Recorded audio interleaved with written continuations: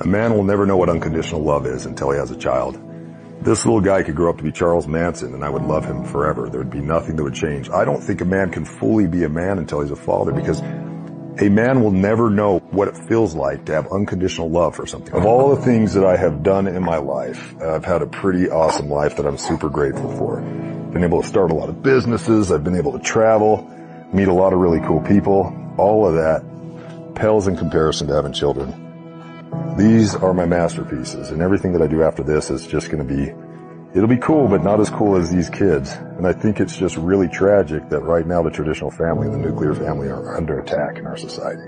We've got to do everything we can to preserve this next generation, to raise them the right way, teach them the truth, teach them correct principles, because they're going to carry the proverbial torch into the future for all of us.